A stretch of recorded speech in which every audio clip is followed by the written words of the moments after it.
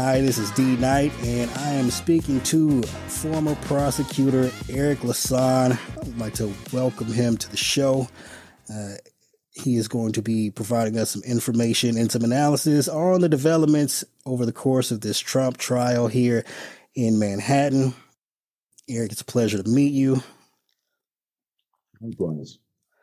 And so earlier today, there was a contempt hearing for Donald Trump's numerous violations of his gag order, his court imposed gag order. Out of, of out of ten proposed violations, uh, the judge found that he met the standard of guilt beyond a reasonable doubt for nine of them. And just you know, is part of your experience as a former prosecutor, I guess generally speaking, like how often is it that you even see an individual being held in contempt in violation of a gag order, not just once, but multiple times?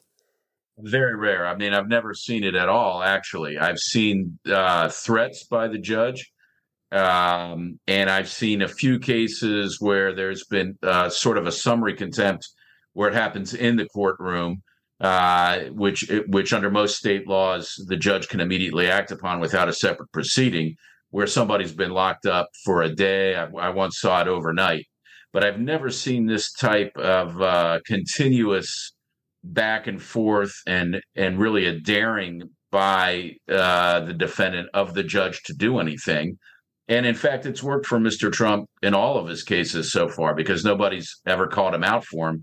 In the civil fraud trial, he was fined by the judge there on, Engoron, but uh, even though the judge was furious and Mr. Trump had brazenly crossed the line, there was no sanction. And I, among many people, have always pointed out that unless and until um, there's detention, it's really unlikely that Trump is going to stop or modify his behavior. So we'll see here. Um, I think Judge Merchan and the district attorney's office all understood that they couldn't do much off the bat, even though they said these were egregious violations they didn't act immediately. They waited a week to have the hearing, and then the violations kept piling up. Obviously, the fine amount of $1,000 is risible, it's just symbolic. It's not going to have any effect. But maybe the warning that the next time we mean it, if the next time you do it, um, we won't just give you a stern talking to. We might incarcerate you. Maybe this time, among all other times, uh, alone among all the times, this has gotten Trump's attention.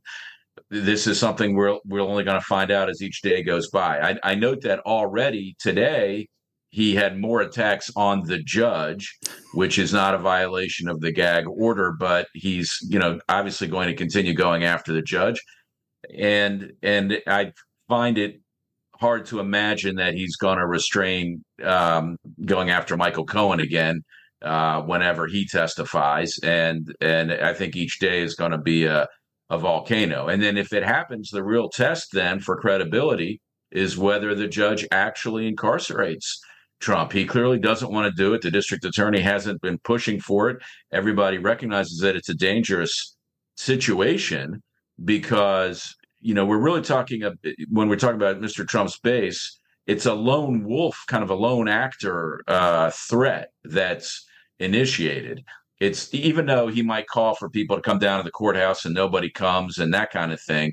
The real danger is there's a lot of people out there that are tuning into his rantings and his social media posts. Nobody knows where they all are. They could be anywhere and it only takes one of them, and we've seen many instances of this, to do something um, because he he or she feels like he's been called to do it by these posts.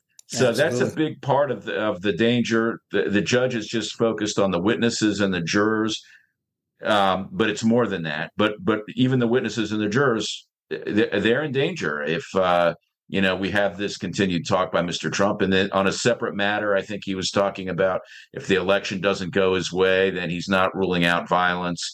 Violence is, and the call to it is never far from him. So um, instead of, sh- my feeling is it's inevitable. This is a slow motion train wreck in terms of coming to a reckoning with Trump. and uh, and he, he's going to have to be detained next time it happens. But whether Judge Merchan buys into that, I don't know. It might mean an immediate appeal. It might mean some sort of a delay in the trial, but I don't think that's a reason not to do it if it's called for. Right. Uh, what do you think about Judge Merchan's like nuanced approach to giving Trump a break on that one count in terms of his comments about Michael Cohen, given that Cohen had been publicly making statements about Trump. Although I guess technically, uh, so Cohen tweeted that he would be refraining from making any public comments about Trump in the near future as long as the trial is proceeding. But it was still a violation of the gag order. Uh, so that it's again, it's a quick it's a case of the judge bending over backwards, trying to give uh, Trump every possible break. So if and when the hammer ever does come down, nobody can legitimately claim, you know, that Trump wasn't warned or that there's some that it's because of some infringement on his political speech rights, although those claims will inevitably occur anyway. Uh, but I think that the judge could have found a violation even on the on the one count of Michael Cohen um, eh, you know, if he if the judge wanted to, he could amend again the the, the gag order. Uh, to my way of looking at it, um, you know, it's not really what Cohen is saying is not really a threat to Trump. Um, but when Trump responds with his much larger following, uh, and you know he's he's at once the leader of a, of the Republican Party and uh, the leader of all these other sort of off-scheduled groups or militias. Uh, it's a it's a really asymmetrical threat. But if the judge wants to equate that with Michael Cohen, he's just giving him a break. But there's still nine other counts. The predicate is there. Um, if the behavior continues, it's not going to matter whether that one extra count is included there. There's a basis there for the judge to exercise his uh, discretion and detain Trump. And he know I'm sure the judge and the district attorney's office as well is thinking, well, what happens when this goes up on appeal? You never know what the appellate court might do, but they can't be limited uh, and paralyzed by that. They have to take the action that is obviously necessary to restore the legitimacy of the proceedings, which otherwise I think has has been going well. Yeah. Well, I think you know, look, again, I'm not a lawyer, but I would assume this is Merchan going out of his way to make sure whatever the verdict is in this case is appeal proof. And uh, bending over backwards for Trump, while it shouldn't be done, I mean, there's there's no appeals court that's going to. Well, I guess in um, New York, it's the no, it is the appeals court. they will eventually look at this and they'll be like, "There's no way," because Merchan is going out of his way to bend over backwards to appease Trump in every single fashion. So uh, I mean, I guess in that sense, he's he's doing his due diligence. But uh, so I, normally, I feel like in in white collar cases like this, where there's the submission of evidence like documents or or phone records and such, uh, both parties typically tend to, uh, um, I suppose, they both they both stipulate that the the documents are what they are. But in this t- in this instance, Trump's legal team decided to make the prosecutors call witnesses like uh, the archivist at, at CNN or whatever, and to validate these videos and such. And and typically, these things just add unnecessary unnecessary delays in these trials. They drag them out forever. Like, what is your opinion on on Trump's strategy, or at least as it pertains to his legal team, and in dragging this out unnecessarily? Your observation is absolutely right. Often these things are stipulated to uh, much more often than not, and it does drag it out. Uh, but my sense is that Trump isn't viewing this as a conventional case, and it isn't. He's not a conventional defendant. And I think he knows if it goes down in any sort of a conventional way, he's cooked. The evidence here seems to be, so far, it's very strong.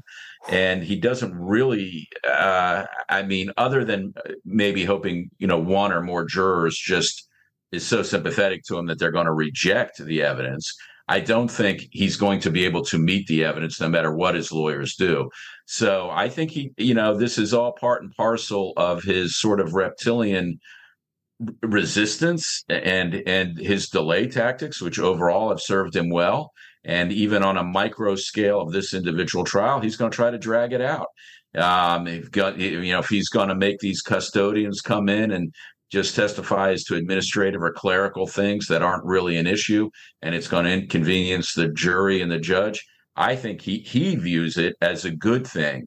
Um, and I don't know that he's wrong because I think otherwise he's he's going to be convicted. So he's got to do everything he can to to to you know throw a monkey wrench into the works, and um, and he's you know going to call the shots, and and he's t- trying to tell his attorneys what to do, and and and of course it's risking pushing the attorneys into areas where they can themselves get into trouble. But they knew that when they signed on for this. And I think they are getting paid. People used to joke that as his attorney, he wouldn't get paid. But we know now that all these attorneys are getting paid and they're getting paid good money. And that's what, you know, Trump's not paying it, but he's getting other people to pay it. So I think the, you know, that increases the possibility that attorneys will just do what Trump says. Even Todd Blanche, who you know, supposedly was claimed by many to be, you know, more of a by the book guy and could be effective. I, I, I don't think that's going to be the case here. I don't think Trump uh, cares if Blanche has any credibility with the court. Um, and I don't think he cares if he has any credibility with most of the jury. His strategy is just to try to get that pick off that one juror who can cause a, a hung hung jury. And so I, I think we might see a lot of, you know, we're not out of the woods yet and seeing certain disruptions and things of that nature. Right. So one more thing along this line of like these unusual delay tactics. Uh, now I know some prosecutors were were concerned about the idea that there are are numerous, well, I, I believe three lawyers on the jury, and and in this case with these delay tactics, typically the the prosecution is not allowed to allude to the fact that Trump's lawyers are basically wasting the jury's time.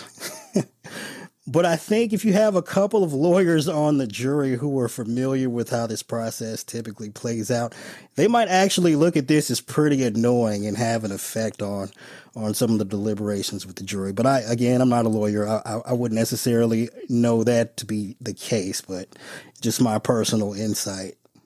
I think that's probably right. I, I agree with you there. Now, there's many different types of lawyers. I don't recall what these particular ones that are on the jury actually practiced in, whether they did litigation or something totally unrelated. But um, there's a good chance that they'll understand what this is. But you, but you're also right. They'll be instructed not to legitimately factor that in in applying the law to the facts. Now, what that whether that strictly followed or not, we'll, we don't ever really know. But uh, the judge will give them an instruction that all of these legal rulings and um, other things that don't come into evidence are not to be considered by them. So there'll be that type of limiting instruction too. And I think all that is again is going to contribute to Trump seeking to draw this out. He, if he can, I, I don't think he, it, you know, if this goes another month, I don't think he cares. No. Yeah, despite his his claims that he'd rather be out campaigning, I'm sure the last thing he wants is a conviction on his record. Um, so we can rewind back a little bit to some of the, the first witness in the case. What do you think about the prosecution's game plan here of, in all intents and purposes, making David Pecker their star witness? Is this like an attempt to to minimize some of the problems that might come with Michael Cohen's testimony or the testimony of Stormy Daniels and such? I think so, but I think even more than that, it worked out really well because uh, he, you know, as a prosecutor, you rarely get everything out without a, a hiccup, and and that happened here. I mean, um, obviously, uh, Pecker has his own um, implication in this. He could have been charged criminally, but that uh, he didn't shy away from that fact. He openly discussed the fact that he had signed non-prosecution agreements, and and he obviously doesn't really come across as somebody that bears an animus to Trump. He still considers themselves to be uh, friends and allies, you know, transactional of sort. I think Pecker himself is a, is sort of like Trump, the transactional guy, and probably to be in that business that he was in. I think Pecker uh, specifically uh, re- referred to Trump as a mentor like a yes, it, which is a strange right. comparison, but okay. Um, I don't think I'd want to look. It at tells you a lot about the relationship between the two, and and I think it works for the prosecution because he didn't have an axe to grind. Uh, one of the criticisms of Michael Cohen is that he's got an axe to grind, but I mean, Cohen's axe to grind, I think, is legitimate and doesn't necessarily mean he's not telling the truth. But here with Pecker, we don't have he's not grinding an axe. He does corroborate Cohen, but he also laid the the whole scene out, the, the whole context for the illegality of it, the stakes that they understood what they were doing um, was illegal, or they they thought it well could have been, but they understood also the importance for the election. Uh, they felt like this is necessary that, that that this scheme they hatched and executed was necessary in order for Trump to win. Whether that's right or not, as the prosecution has said many times, we don't really know, but they certainly thought that was the case. And it was not an unreasonable thought. And he also laid out the whole landscape of this type of tabloid journalism, if you really want to call it journalism, but technically, I guess it comes under that, even though it has no regard for what actually happened. Um, he was very open about it. And the minor sort of concessions that came out on cross examination, where he had done similar things for Arnold Schwarzenegger and uh, Tiger Woods, uh, you know, and other celebrities. I, I, don't think is a huge win for Trump. I, I mean, it doesn't mitigate what happened here, and um, and it can be differentiated. I mean, if you thought that was bad, the the, the thing with Trump is even a level worse. So w- with higher stakes. So I think, and it caught the public's attention it made people understand there are there is a significance to this trial. It's not just about business records being misclassified or you know running through something through the company that maybe shouldn't have been. It's a lot more. This was really all about illegally influencing the election, and they knew that. Yeah, speaking of the the falsification of business records, so in New York, typically uh, these are are charged as misdemeanors, and you basically have to bootstrap them up to a felony by showing they were committed in furtherance of, of another crime. And what do you think about the prosecution strategy of basically starting off the trial with bootstrapping them up before they even get to the idea of the payments being the, the, the records being falsified? Well, you always want to start the trial with a witness that's going to be engaging and sort of help paint a broader picture for what comes after. Uh, so it's not always um, a check the box thing. It's not always necessarily strictly chronological.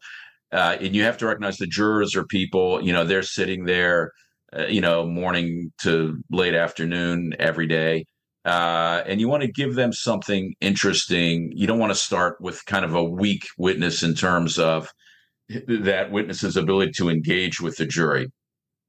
So Pecker is somebody that does uh, present a compelling story, and I'm sure.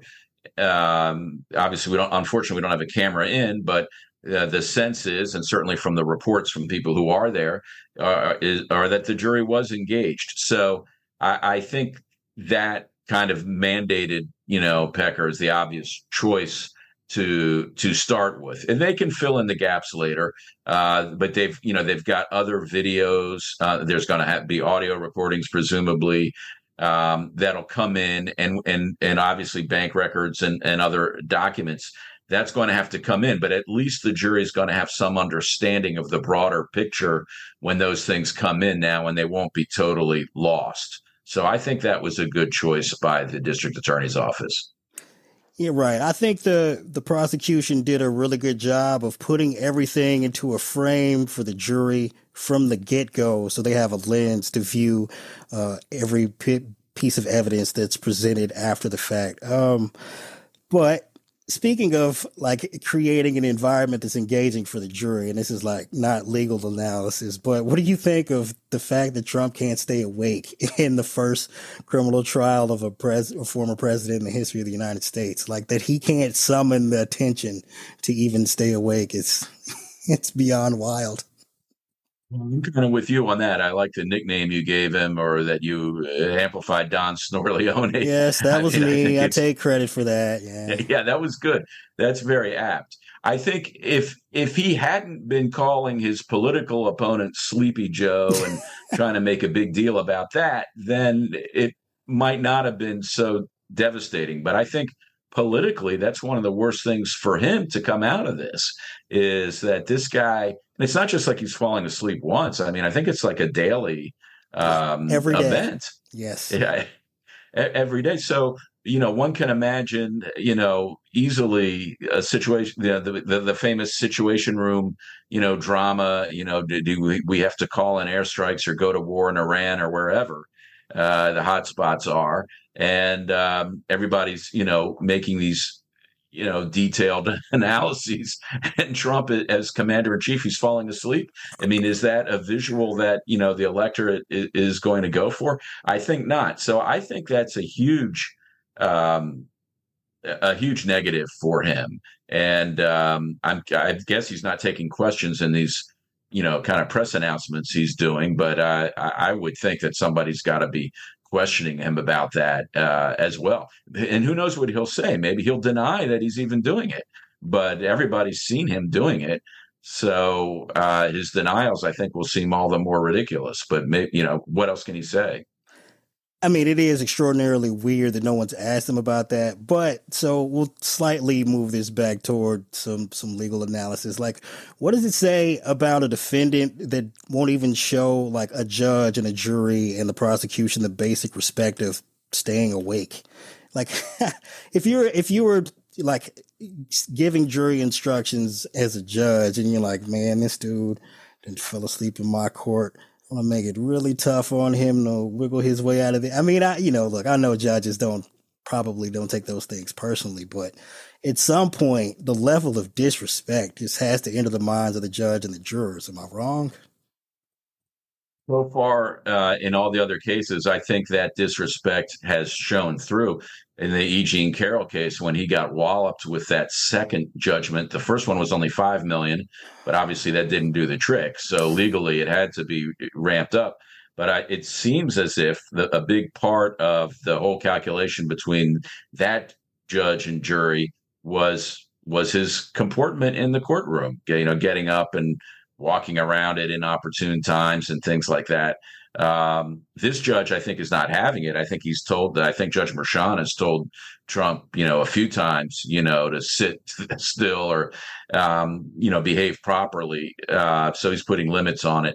So, um, I, yes, I think that's a big deal. Now, I have to say, I mean, I've seen jurors fall asleep in cases. I, have even seen judges doze off um, at certain points. So, I mean, the days can get long. Um, although I don't think these days are particularly long in this trial. I mean, and they've only had two nominally full days uh, so far, I believe, or maybe today was the third one. Um, but you know, anybody can can doze off. But if you're the defendant um, and it's all about you, and you're purporting to direct your legal team, and you're barking out orders, and yet you're falling asleep, obviously it adds another layer of absurdity to the whole proceedings, and that's what we've got with Trump. It's yeah, a clown show. A clown show. My exact words that I was going to use. It's a clown show. Like I've never seen anything like it. And look, again, the fact that we're even trying to talk about this is though it's completely normal. It's it's still beyond absurd to me. Uh, even that degree of normalizing it, because I want to scream.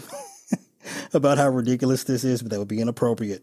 Uh, so earlier today, uh, the the prosecution called Keith Davidson as a witness. Were you familiar with this testimony from earlier today?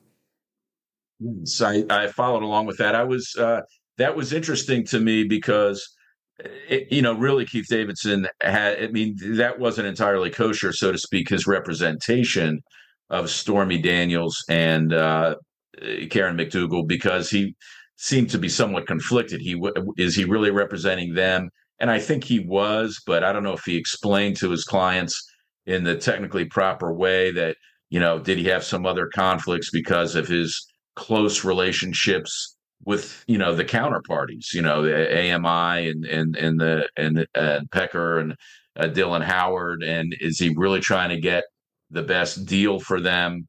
Um, I think those are things legitimately that um, probably made him not the best attorney for them. Although I don't think he was horrible, he did get them some um, some compensation. But it seems like, given the stakes, he could have gotten a lot more. But um, but but you know, but he's a legitimate attorney, and he was trying to to work out transactions here. And I think his testimony can't comes across so far. You know, we'll have to see how it ends up and and get the full cross examination, obviously, to really fully assess it. But so far, I think uh, he also comes across as credible, and it just adds more another layer of corroboration um, and, and and and another layer of strength to the case because he's really emphasizing also the stakes here. They they knew that this was all about winning the election or not, uh, particularly obviously right after the Access Hollywood tapes. He really drew the line there uh, when that Access Hollywood story broke. That that was a game changer. Um, Trump didn't care about suppressing all this stuff before that, which is deadly for Trump legally also because one of his defenses that he's sort of proffered is that well obviously this is embarrassing uh, you know, personally, and and so you know, these women are not that I'm saying they're it's true what they're saying, but you know, my family, my wife, I don't want them, uh, you know, being subjected to to these kinds of stories. So sure, I, who wouldn't want to bury that? But actually, Trump is a different cat, right? He he couldn't have cared less what his family thought about Wait, it. Can I stop you right making, there for a second? So let's say yeah. Trump really, let's say given this situation, Trump is really just trying to hide this from from his wife and his family, right? Well, wouldn't he just cut a check from the Trump organization from an account that his family doesn't have any eyes on? Wouldn't that just be the simplest way to go about that? Absolutely would have been the simplest way. And if he had done that, it wouldn't really have violated any laws. It wouldn't have uh, violated campaign finance laws. Um, but at every opportunity, he chose to make it much more complicated to track it. And and I mean, he's basically both Davidson and Pecker, and I'm sure other witnesses will say he had no interest in paying. I mean, he's kind of a cheapskate with that sort of stuff. He had no interest in in hushing this story when it came to his family.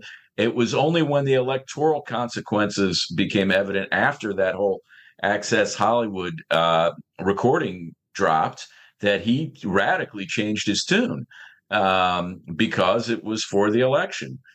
So it's absurd to think now, given what we've heard, that this was not about the election, but really just about his sensitivity to other people's feelings.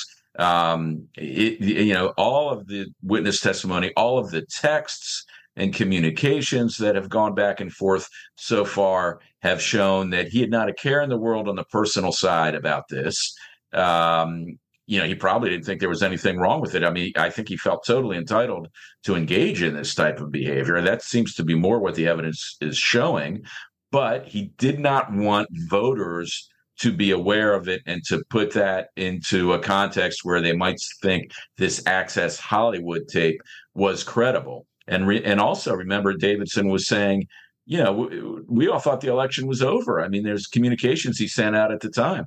You know, those wave the white flag type of statements. He's not going to win now after this tape. Right. But Trump made this, this miraculous. I have this one comeback. text message right here from Keith Davidson to Dylan Howard, I think the editor at, at the National Enquirer, and it's on election night when they're like, it's like they're they're watching the news and they're like, oh, it looks like Trump might actually win.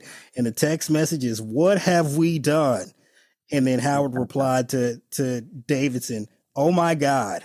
Like that is that not like now, regardless of what that says about Trump's intent here, clearly Howard and Davidson were well aware that their actions had an impact on the election, if not totally responsible for his victory.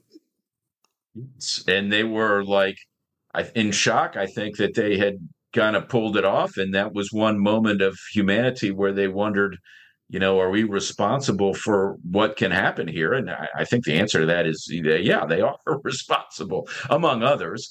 But uh, they, they, you know, all the harm that caused, I think, can somewhat be traced to them as well as other individuals. And that was a rare moment of honesty and self reflection between them where where they recognized the significance of it. But uh, but Trump recognized it too because all of a sudden he's willing to pay out. Um, he's he's putting pressure on Michael Cohen. You know, now we're get, we're getting the story of that sort of secondhand through Davidson and Pecker and these other text messages. But um, but but we can see that tr- this corroborates very strongly that Trump understood the importance of getting all this out. And and Pecker, by the way, he testified that even after Trump was president, when he met Trump in the White House, Trump was throwing a, a dinner in his honor. And what did they talk about? They were talking about this. They were talking about how's Karen my girl? Yeah. Yeah. I mean, he doesn't want to be briefed on the presidential daily briefing, right? I mean, he famously couldn't sit through that for even 30 minutes. They had to dumb it down about all the crises in the world. You know, he didn't have the mind for that. But uh, but boy, can he spend a lot of time when it's about him being in power, uh, whether it's plotting the insurrection or or seeing whether these uh, whether Stormy Daniels or Karen McDougal is going to say something that might affect his ability to stay in power. He's all over that. You know, so it's very revealing. And a total side note here, but what do you think is like what is your take on him looping in Hope Hicks and Sarah Sanders into basically a plot to cover up an affair to affect the election? Like what are you like this is the point at which we're it's the wire and we're like, are you taking notes on a criminal conspiracy? What are we doing? Like whose decision was that? Here's the wire, but you know what? He's rewriting the wire because he, you know, he just doesn't. He thinks all these people are going to go along with him, and he, you know, in the case of Sarah Huckabee Sanders and Hope Hicks, he was largely correct. Um, you know, in fact, I think James Comey was in one of these meetings, right? The right. FBI director. I, I think he was in a meeting with Pecker. I mean, any other person is going to be thinking, you know, you don't want these people involved, but he thinks they're all going to be with the program of covering this up. And he wasn't necessarily wrong on that. Um, you know, I think even Comey was still trying to get his bearings as to what was going on. But I think in Trump's mind, these people were all in on the criminal conspiracy. You know, they're they're with him, and uh, and that's why he gets furious when people break with him. Um, you know, he saves his harshest rhetoric for those people. It's it is really type of a, a mafia mentality, which many people have commented on. For sure, and you, you talk about the fact that he is, expects these people to engage in conspiracies to cover up his crimes, and just takes that for granted. Have you even considered how just what a random event it is like how random it is that the origin story for this investigation itself actually spun off from the Mueller investigation. Like this would never have happened if Robert Mueller's team had never gotten access to some of the records from the Trump organization and been able to look at these payments and be like, huh, that seems suspicious. Let's let's spin that off to the Southern District of New York. And then there was also the opportunity for the Southern District to continue investing these investigating these crimes and potentially indict Trump once he left office. But it appears as though Bill Barr pulled some trickery, and part of the reason we're even experiencing and this trial is such a late stage is because, well, he basically called and killed the investigation, right? He was like, hey, Manhattan DA's office, don't worry about this. SDNY's got it. And then he's telling SDNY, hey, Ixnay on that investigation, A. like, it, just a weird tale that we've ended up in this place like this.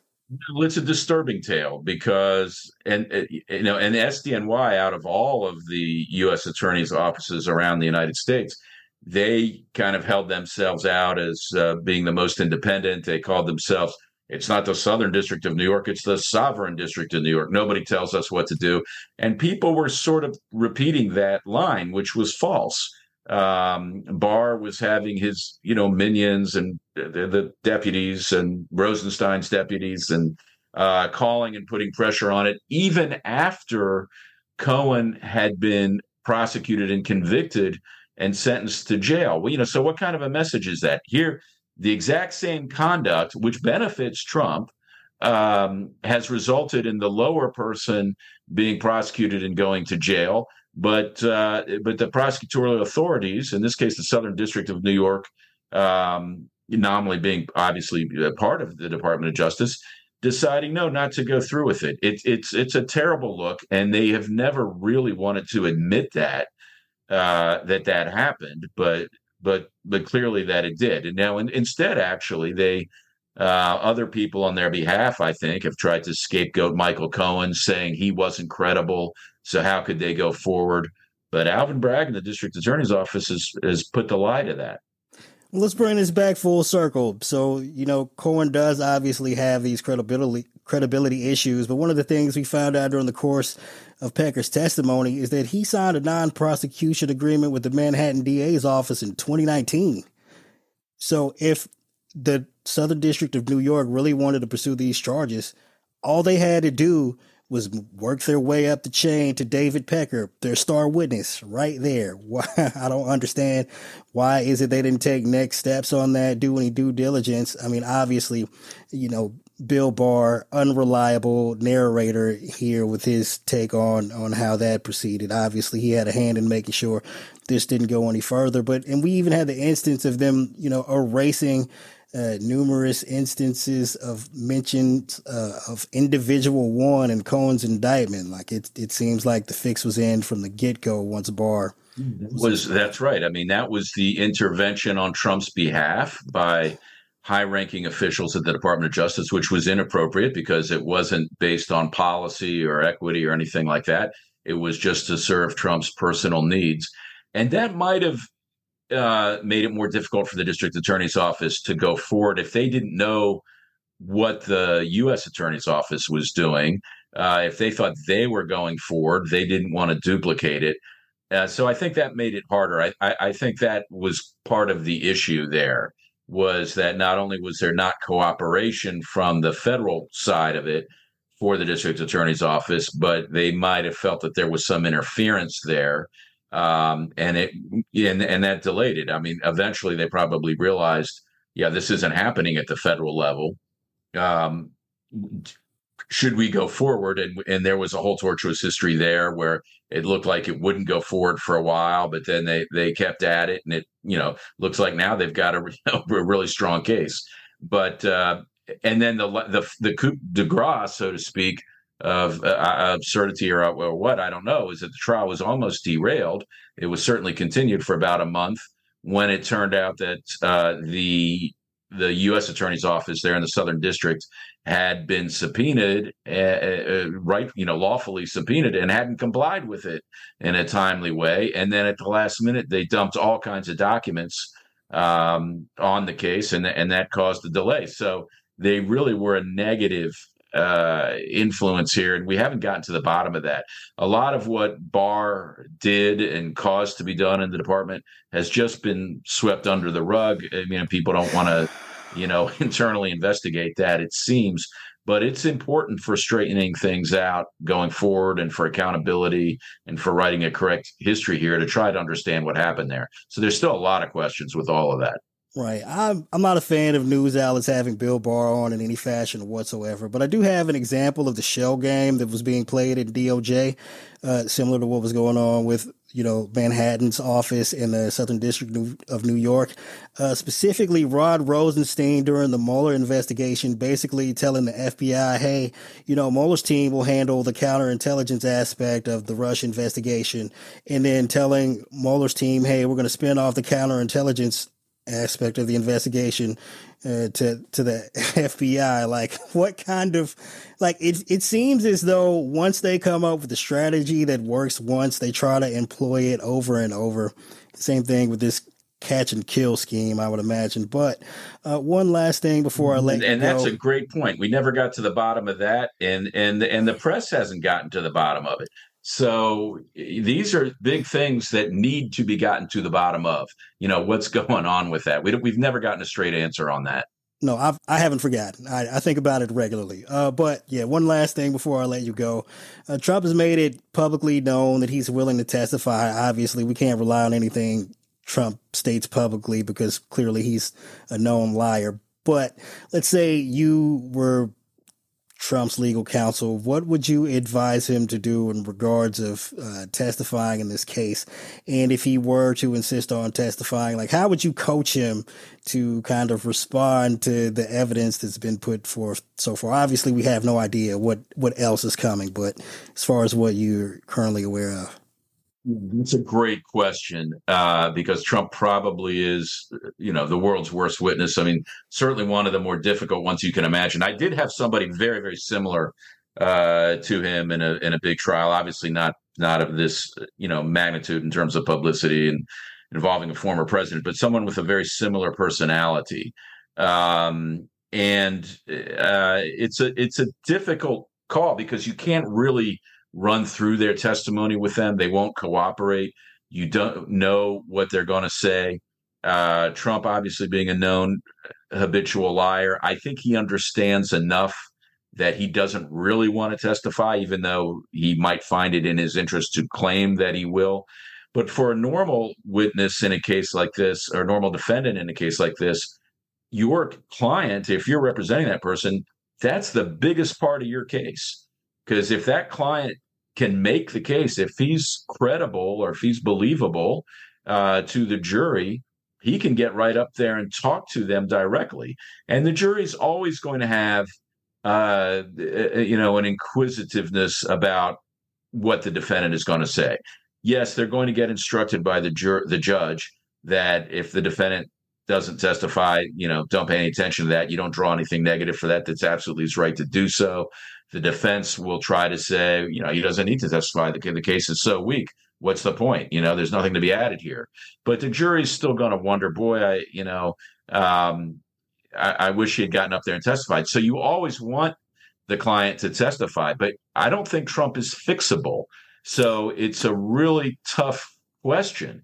I don't think you can make him testify in a credible way, um, which doesn't make it worse. And here's the real issue because um, you could say, look, he's probably going to go down in flames anyway. So maybe his testimony doesn't make it worse. Maybe he speaks to, you know, one sort of outlier, you know, irrational juror who who is just going to sympathize with him against all the evidence.